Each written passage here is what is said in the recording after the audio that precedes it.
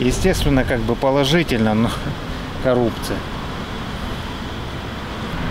Это только слова. Я говорю свое личное мнение. Как говорится, у нас, к сожалению, простого украинского народа, у нас два врага. Внешний Россия и внутренний. Вы посмотрите, какой грабеж. Скандал за скандалом. Я гадаю, що це, мабуть, вже давно пора було робити. Можливо, хоч так наша влада почне служити людям, як вона повинна це робити. Я думаю, достаточно органов, которые занимаются коррупцией. Просто надо навести порядок в этом. Своих не защищать, виновных сажать. А одним органом больше, одним меньше. Пере- перетягивание канатов туда-сюда, я не вижу в этом никакого смысла. Треба підтримувати, тому що корупція процвітає, а треба допомагати армії.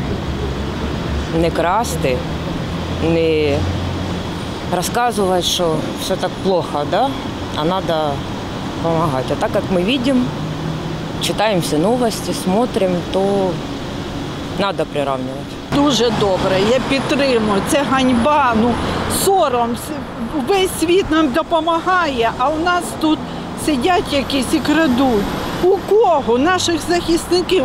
Я пенсіонерка. Віддаємо останні копійки, щоб підтримати наших. Ну, це просто сором і ганьба для нашої країни. Соромно, дуже соромно.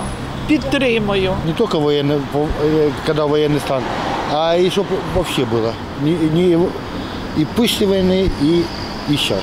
Чтобы коррупцию убрать. Ну, мы все знаем, кто у нас коррупция делает. Коррупция в нашей стране есть. Это все видят, это все знают.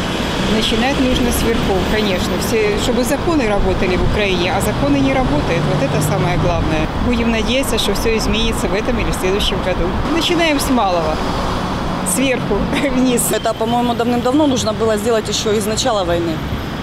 Поэтому, ну, только за. Нужно было этим за это браться давным-давно. То есть начнем так. Я бы вообще-то за коррупцию поговорила бы, начиная с Верховной Рады, а потом уже о ком-то другом.